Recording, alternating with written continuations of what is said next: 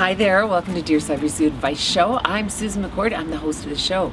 Today I've got a fun topic. I like this one. And this is something that I've been asked a few times, and I'm always going, why do you even want to do this? The question is, should I invite my ex to my wedding? I think the, the biggest answer to this question is really how long have they been your ex? And how much water is actually under the bridge now? Like, can you look at them and have no romantic feelings or, or any past memories that linger in your mind? And then ask yourself, why do you want to invite them to your wedding? That's the biggest question. Why? Why should they be one of these the most important people in your life on your guest list? Again, I'm not saying that everybody ends a relationship with major heartbreak. Sometimes it's a mutual decision.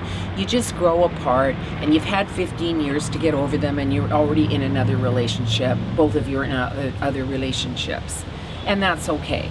But I think there's so much emphasis put on this having to be friends with all your exes in your life. And I know you guys might hate me for saying this. I just don't agree with that. I don't think you have to be friends with everybody that's entered your world.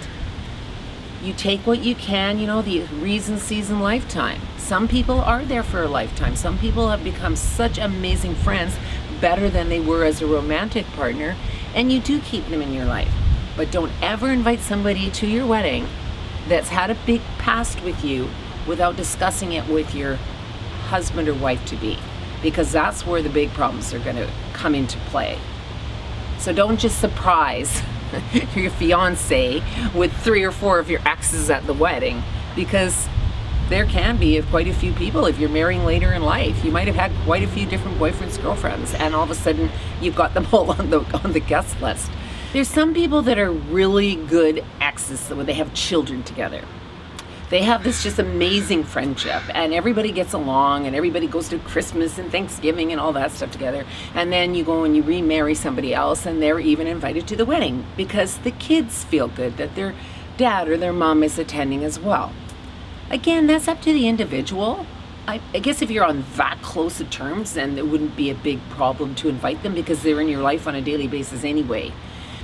Personally, for me, I don't have to be friends with all my exes. Some people seem to take this on and think that it's just so important that you you forgive everybody in your life and you move on. Well, forgiveness comes in different forms. You can forgive them why you broke up, you've moved on from your breakup, but it doesn't mean you have to hang out on a daily basis with them or invite them to milestones that are happening in your life. They're your ex for a reason. Never feel obligated to keep them in your life because you feel that's a humane thing to do. Not always. And it really, I, I don't know, it, what if your ex still has feelings for you? Maybe there's some unfinished business and then you're going to cause a little bit of drama here. It could end up having happening at the wedding. There could be something that's said or, or something that happens.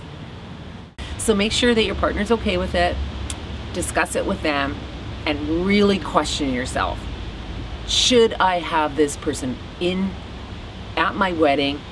Is it because I feel guilty? Because I really care for them? What is the reason? You're sending me this question, you haven't given me all the all the parts to go with it. So ask yourself those questions. If it's a guilty thing, no. Don't invite them.